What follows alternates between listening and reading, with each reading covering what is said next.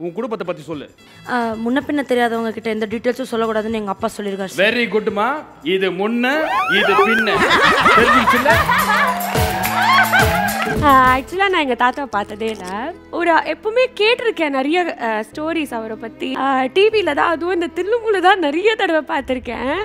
So நீங்கள் எங்கள் தாத்தா கெட்டப்பில் இருக்கும்போதே வந்து உங்களை ஒரு கட்டி பிடிச்சிக்கலாமா? அம்மா கவலைப்படாதம்மா.